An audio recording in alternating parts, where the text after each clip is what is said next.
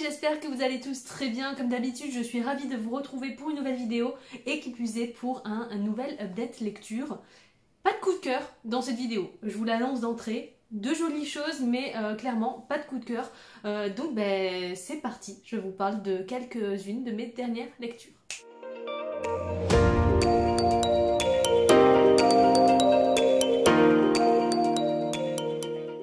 Faire très très vite, je vous montre ici ma Kindle puisque euh, c'est lu sur Kindle. C'était dans le cadre de mon challenge personnel, le Big 12 Challenge. Euh, donc euh, c'était le livre le plus petit de ma palle. J'avais sélectionné 7 catégories pour le mois de janvier parce que clairement j'avançais un rythme d'escargot et je me suis dit ok je vais pas commencer fort. Donc j'ai choisi le livre le plus petit de ma palle pour débuter et c'était donc Le Monde de Timmy qui est une petite nouvelle fantastique de 40 pages. Et clairement, j'ai quasiment déjà tout oublié. Est-ce que ça veut dire ce que ça veut dire? Je pense. Clairement, j'ai pas du tout accroché. il y avait que 40 pages et j'avais hâte que ça se termine. Euh, vous savez, je suis, je suis pas très très emballée de base par les nouvelles, j'aime pas du tout ce format, moi ça me frustre énormément de savoir que l'univers ne va pas être développé, que l'on va quitter les personnages peut-être juste à peine après s'être attaché à eux, et, et clairement c'est pas suffisant, c'est vrai que 40 pages, enfin je, je peux comprendre, hein, euh, mais moi je vois pas trop trop l'intérêt d'une nouvelle. Clairement, euh, si petite, en plus dans un univers fantastique, euh, voilà, il y avait moyen de développer quelque chose de très sympa avec cette histoire. Et pourquoi s'arrêter en si bon chemin On y suit un petit garçon et donc sa grande sœur. Qui, est âgé de quelques années de plus que lui, il me semble, et ce jeune garçon, il est un petit peu tourmenté, il est, il est un petit peu différent et sa, sœur va essayer de comprendre pourquoi, elle va essayer d'entrer un petit peu dans son univers et de prendre soin de lui euh, jusqu'à comprendre en fait qu'il est en, contact avec des créatures d'un autre monde. Mais c'est beaucoup trop court, il, il, se passe pas grand chose et au final, euh, on reste sur notre fin, on est là, bon bah ok, c'est bon, très bien, c'est fini. Donc voilà, je, franchement, je suis pas du tout adepte de ce concept-ci de nouvelles, en plus vraiment dans le domaine fantastique, parce que même un petit livre de fantasy ou fantastique, enfin dans les lectures de l'imaginaire, je trouve que c'est hyper délicat de développer un univers cohérent, construit, euh, complexe, riche en si peu de pages. Donc euh, même un livre de 100 pages, euh, je trouve ça voilà assez limite. Mais donc là voilà une nouvelle de 40 pages, enfin moi, ça m'a rien apporté, je l'ai déjà quasiment tout oublié. Donc voilà, je, vous en parle puisque c'est une, de mes dernières lectures. Je suis contente parce que ça fait un livre de moins dans ma pile à lire, mais clairement, je, je l'ai complètement oublié. heureusement que je ne l'ai pas acheté, quoi. Je l'avais pris quand il était gratuit parce que le pitch me disait bien. Mais clairement, si je l'avais acheté, j'aurais été hyper déçue. Donc euh, voilà, c'est pas, pas une petite nouvelle que je vous recommande. Passons à la suite. Une lecture que j'ai beaucoup aimée, il s'agit du renard et du petit tanuki qui est publié chez euh, Kiyun et c'est de Mi Tagawa et euh, oh c'était trop mignon, franchement ça j'ai adoré, j'ai adoré, j'ai passé un super moment, je m'étais fait un petit bain euh, cocooning et tout, je l'ai lu d'une traite, c'était un pur régal, je prendrai la suite c'est sûr.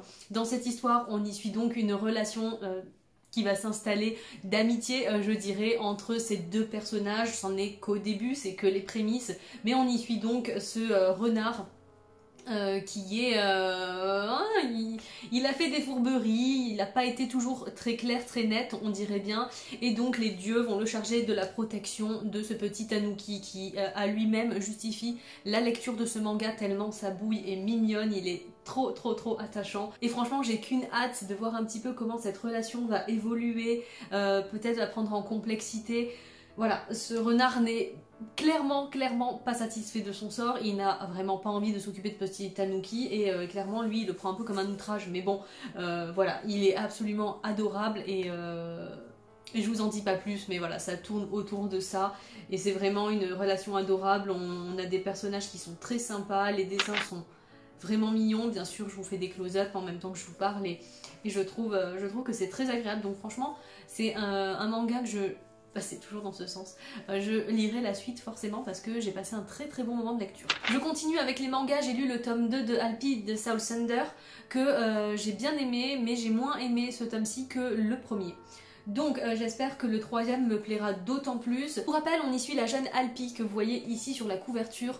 Euh, c'est une personnalité particulière puisqu'elle appartient aux Soul Thunder. Ce sont des personnes qui ont euh, des dons particuliers pour libérer les âmes de divinité. Donc ces grands animaux divins, sortes de dieux en fait aux yeux des hommes, qui, sont en fait la cause de de l'harmonie ambiante et de l'équilibre de toute chose.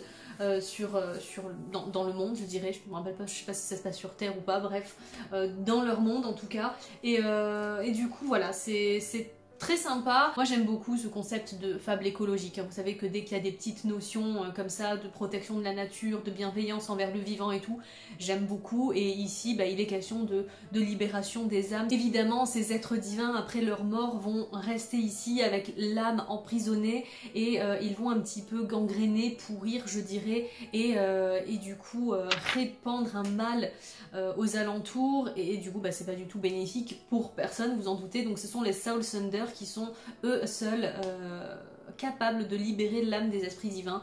Donc voilà, ils ont quand même une grande tâche, ils sont pas très nombreux de ce que j'ai pu comprendre et, euh, donc ils sont donc attendus et, protégés. Euh, donc on y suit cette Alpi donc dans dans sa quête, je dirais, de libération des esprits divins. On la suit un petit peu dans son parcours, tout simplement, et euh, c'est très sympa. Sauf que ce tome 2, j'ai trouvé un petit peu longué. Euh, clairement, il ne se passe pas non plus grand-chose. Il y a l'arrivée d'un personnage important, euh, qui est sympa. On y apprend quelque chose d'important sur Alpi.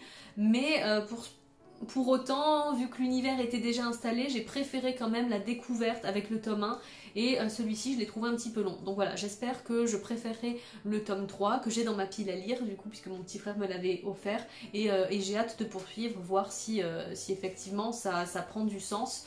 voilà, mais, mais clairement je continue de bien aimer, hein. mais c'est juste que j'étais un petit peu en deçà quand même de ce que j'ai préféré dans le 1.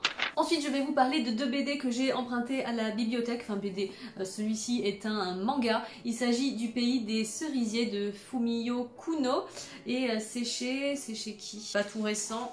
C'est Kana qui publiait donc euh, ce, ce, manga qui est maintenant assez vieux, je sais plus quand il est sorti mais bon bref.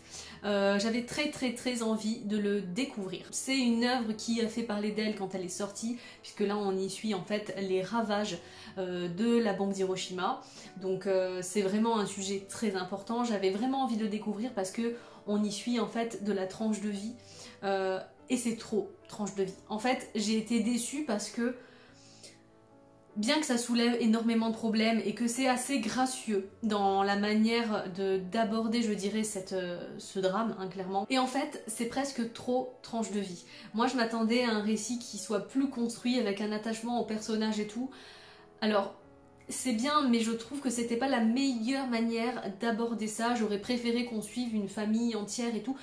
Après, le parti pris, il est sympa, c'est juste que moi, ça m'a moins touché de suivre quelques petites histoires comme ça, euh, par-ci par-là, puisqu'en fait, c'est voilà, c'est des tranches de vie où on, va y suivre euh, eh bien, le ressenti, l'implication et, euh, forcément l'impact que ce phénomène a eu sur les survivants, clairement, parce que c'est une jeune femme qui va s'intéresser à ce qui reste et, on y voit bien sûr bah, tout l'impact, bien sûr physique, mais également psychologique de, cette bombe. Et, euh, c'est très touchant, c'est très touchant, mais je m'attendais à plus en fait. Je pensais être plus touchée, je pensais que ça allait être plus intrusif presque. Et euh, du coup voilà, je suis restée un petit peu en surface, même si j'ai trouvé les dessins étaient très jolis. Hein. au final, c'est très doux et on a beaucoup de détails. Ça paraît assez simpliste, mais c'est beaucoup plus détaillé que ce qu'on peut le, penser en fait au final quand on s'attarde sur les planches. Avec ce, thème de la guerre qui se veut, euh, qui se veut puissant, qui se veut franc, qui se veut euh, bah, dramatique, clairement. Et là, je suis restée un petit peu en surface, je me suis pas sentie impliquée euh, bah, dans cette peine. Et, du coup, voilà, je trouvais qu'il y avait un, un, petit manque, moi, au niveau de l'émotion, parce que j'aurais aimé que ce soit plus dramatique, en fait, clairement. Euh, je m'attendais à quelque chose de plus dramatique tout en restant léger parce que euh, c'est ce que veut montrer un petit peu cette tranche de vie. Et pour autant, c'est sombre parce qu'on y voit les déboires psychologiques euh, bah, de, pas mal de personnes du coup. C'est une œuvre qui est engagée clairement, qui veut montrer plein de choses. Mais voilà, c'est un, ressentiment de, laisser en surface, vous voyez, je suis pas rentrée clairement dans l'œuvre et, voilà, j'ai eu j'ai eu du mal à être bouleversée complètement. Voilà, même si euh, j'ai trouvé ça assez touchant, intéressant, mais, euh, mais voilà, je... c'est pas une œuvre que je retiendrai longtemps, je pense. Ensuite, j'ai lu cette euh, BD, donc qui est un comics en fait. C'est donc The Autumn Land, donc c'est le premier tome de Griffes et de Crocs. Alors, euh, ça m'a fait plaisir de lire un comics parce que clairement j'en lis que très rarement et c'est hyper agréable. Hein. Franchement, si vous connaissez déjà un petit peu le visuel des comics, c'est toujours très coloré, c'est c'est dynamique, c'est, enfin moi j'aime beaucoup, euh, c'est vrai que, j'apprécie énormément et j'ai euh, vraiment très peu l'occasion d'en lire. Mais euh, du coup il y a du très bon dans, ce, dans cette saga et il y a du moins bon. Il n'y avait pas le tome 2 à ma bibliothèque, je crois pas. Il faudra que je vérifie mais il me semble pas, donc j'aurai pas l'opportunité de lire la suite pour voir si, ça ça prend un petit peu plus de complexité. Là, on a trop de passages qui sont what the fuck en fait, où on se dit, mais attends, comment ça, ça peut arriver. Il y a trop d'improbables en fait dans ce comics. Euh, donc, euh, pour faire un petit pitch très rapide, c'est un monde de magie clairement, où on y suit un petit peu deux camps, euh, où on a donc les, grands mages, le plus gros de la population qui vit donc dans un monde, et on a un autre clan qui est donc un petit peu plus isolé dans les plaines. voilà, et donc on a ces, deux clans, je dirais. donc celui-ci, le principal, avec le plus de monde, où l'on suit ce jeune chien euh, d'ailleurs, eh bien, euh, est plein de magie. Hein. voilà, il regorge de magie, il fonctionne avec la magie et il a besoin de la magie pour continuer de perdurer, je dirais. Et euh, donc, on va, on va suivre certains personnages. Et alors, c'est multi-espèces, hein. le truc franchement c'est il y a plein plein plein plein plein d'espèces différentes donc ça j'aime beaucoup c'est plutôt cool donc on a des animaux anthropomorphes clairement et du coup on arrive à un jour où ben, on sent qu'il y a quelque chose qui se passe avec la magie c'est dérangeant, on ne sait pas ce qui se passe, on sent que la magie en fait est en train de s'éteindre, de diminuer et on ne sait absolument pas les raisons. Et là donc il y a tous les grands mages de la cité qui commencent à se dire ok il y a un problème, il va falloir qu'on agisse parce que ben, si la magie commence à diminuer, ben, on perd nos pouvoirs et du coup le monde ne peut plus fonctionner normalement puisque tout fonctionne avec la magie. Et, euh, du coup ils vont, euh, ils vont être obligés assez précipitamment d'invoquer la prophétie euh, du sauveur je crois qu'ils appellent ça la prophétie du sauveur. Je crois que c'est le sauveur. Bon bref une sorte de prophète en fait qui est censé faire revenir la magie. Et voilà c'est vraiment la prophétie en cas d'ultime urgence, voilà, à invoquer seulement si vraiment le monde s'effondre, et c'est ce qui pense être le cas. Euh, donc voilà, et il y a ce prophète divin qui, arrive et qui est censé tout réparer. Voilà, donc euh, on est dans un monde avec seulement des animaux anthropomorphes, des espèces différentes de l'homme. Voilà, vous pouvez peut-être vous douter un petit peu donc de l'apparence que pourra avoir ce prophète justement. Euh, et j'ai été un petit peu déçue en fait dans le dans la mise en place de ce monde magique. Au final, on voit que c'est il y, a plein de choses qui ne sont pas crédibles en fait. On sent que c'est instable en fait cet univers magique, je sais pas, ça repose sur des bases qu'on ne connaît pas bien. Et, euh, du coup, ben, moi j'étais pas embarquée parce que. Euh, parce qu'on sent que ça c'est pas stable, clairement, il y a quelque chose qui va pas. Du coup, voilà, euh, je ne sais qu'en penser, même s'il y a eu des éléments que j'aimais et, clairement le niveau graphique, j'étais heureuse de lire ce livre, franchement c'était agréable. Mais voilà, au niveau du, scénario, par contre, euh, ça pêche un petit peu, je trouve. Donc euh, voilà, j'aurais bien aimé, franchement, lire la suite. Maintenant, je vais pas clairement me l'acheter, donc euh, j'espère que la bibliothèque l'aura à un moment donné pour que je puisse voir si effectivement l'histoire s'étoffe, si on en apprend plus sur les bases aussi de cet univers et qu'il nous paraisse un petit peu plus crédible. Voilà. Et ensuite, je vais vous parler de deux romans, et à commencer par La ville sans vent. Euh, oui, parce qu'à chaque fois, je, confonds avec Le nom du vent, euh, clairement, qui n'est pas du tout le même livre, mais du coup, chaque fois, je bug. Est-ce que c'est bien La ville sans vent? Effectivement. Je vous parle de La ville sans vent de Éléonore de Villepoix, publié chez Hachette Roman. Et là, je vais un petit peu à contre-courant de multiples avis élogieux de ce livre. Je ne dis pas du tout que c'est mauvais. Je pose les bases directes, hein, clairement. Il y a plein de choses que, j'ai adorées dans ce roman, pour autant je reste mitigée. Et c'est une lecture pour laquelle j'ai mis 15, voilà, sur Livre Addict, comme ça ça vous donne une petite idée. Euh, voilà, moi pour moi 15 c'est pas du tout une mauvaise note, c'est un livre qui est bon, mais voilà, sans plus pour moi. Euh, qu'est-ce que c'est que ce livre? Donc on y suit deux grands arcs principaux, euh, je dirais. Euh, d'une part, on a le mage Lastignax qui n'est pas mage pour le moment, qui est seulement un apprenti en fait d'un mage et qui ben, continue sa formation, vous voyez, sur les années et qui aura donc pour but de, prendre la suite de son mentor. Sauf que son mentor est assassiné brutalement et de manière assez folle, incongrue, euh, voilà, surprenante, je dirais, dès le début du roman. Et euh, donc ça va être un des grands arcs principaux, ce jeune Lastignax, donc qui est un des personnages principaux, et qui va se retrouver propulsé au plus haut de la hiérarchie d'Hyperborée, qui est le monde donc sous dôme que vous voyez ici sur la couverture, euh, qui va se, donc ouais, se retrouver propulsé au summum de la hiérarchie, alors que ben, il était seulement en apprentissage, alors même s'il a appris, euh, beaucoup de choses durant ces années, bah, son mentor devait encore lui apprendre euh, plein de choses et il se retrouve bah, propulsé euh, au summum, du coup à prendre la place de son mentor. Et, voilà, avec plein de responsabilités qui sont maintenant à sa charge et c'est un petit peu compliqué. Et dans un autre temps, on y suit donc la jeune Arca, qui est une jeune guerrière qui vient d'une petite ville éloignée de Hyperborée. Euh, donc dans Hyperborée, on a de la magie, euh, voilà, les mages sont au pouvoir, il y, a plein de classes différents avec une ville qui euh, s'échelonne sur plein d'étages. Voilà, elle, elle vient d'une ville où la magie est, un petit peu proscrite, où on n'a pas le droit d'utiliser la magie. Et donc elle vient à Hyperborée dans le but de retrouver son père, voilà, qui, qui effectivement, normalement, est un mage d'Hyperborée. C'est toujours ce qu'elle a entendu dire. Et voilà, elle se met en tête qu'elle veut retrouver son père qu'elle veut essayer elle aussi de maîtriser ces petites bribes de magie qu'elle sent en elle. Et donc on y suit ces deux personnages principalement hein, qui vont se rencontrer, vous vous en doutez, et qui vont devoir ben, s'allier un petit peu pour élucider tous les mystères qui tournent autour d'Hyperborée, et notamment de ce meurtre principal, et, d'autres vont suivre.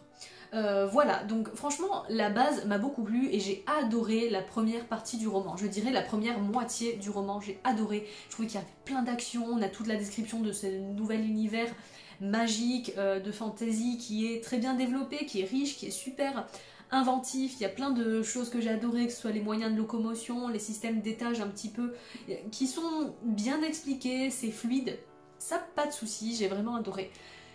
Après je trouve que au niveau du... Ouais, le milieu du roman, je dirais, il y a un petit ventre mou pour moi, je me sentais plus trop impliquée dans ces espèces de complots politiques, un petit peu cette enquête euh, autour des meurtres j'ai eu voilà une petite baisse d'intérêt. Et puis après, il y a eu un passage qui m'a vraiment captivé et après on est retombé un petit peu euh, vers la fin du roman. En fait, je me sentais pas, euh, je me sentais pas de ouf impliquée en fait. J'aimais bien les personnages, j'aimais bien l'univers. Mais tout ce qui tournait autour là, de ces complots, de ces machins, ça m'a un petit peu refroidi, d'autant plus que j'ai vu venir l'axe principal, je dirais, je, je l'ai vu venir. C'était pas exactement de la manière dont je, pensais que c'était dans ma tête, où j'avais fait mon truc, quoi. Mais clairement, du coup, quand la révélation est arrivée, ben, ma surprise était, était pas au summum, quoi. Vu que je, m'attendais à ce fait-là, pas exactement de cette manière, comme je vous disais, mais forcément, quand on s'attend à quelque chose, la surprise n'est pas au rendez-vous. Donc voilà, euh, une fois que j'ai eu cette révélation, que j'ai vu que bon, euh, c'était ce à quoi je m'attendais en quelque sorte, ça a encore euh, réduit mon intérêt pour la fin du roman. Et là, à ce jour, clairement, même si j'ai trouvé que c'était sympa, il y avait beaucoup de rebondissements. C'est un roman qui est rythmé, où il se passe beaucoup de choses, où les personnages sont sympathiques, bien que, à part les deux personnages principaux, clairement, je crois avoir déjà oublié les autres. Donc pour vous dire, je trouve qu'il y a un travail sur les personnages secondaires qui est pas comme, euh, comme moi j'aime vraiment, enfin j'adore, j'adore quand il y a des personnages secondaires que l'on aime quasiment autant que euh, les, euh, les héros en fait, que les, personnages principaux. Moi j'adore ça, que un travail sur les personnages secondaires très approfondi où vraiment on est impliqué autant pour bah, les personnages d'à côté quoi, je dirais que pour bah, nos héros principaux et là c'est pas du tout ce que j'ai retrouvé. Donc voilà, je reste mitigée, c'est un livre dans son ensemble que j'ai bien aimé. Mais voilà, c'est loin d'être un coup de cœur et euh, ça reste juste une, bonne lecture pour moi.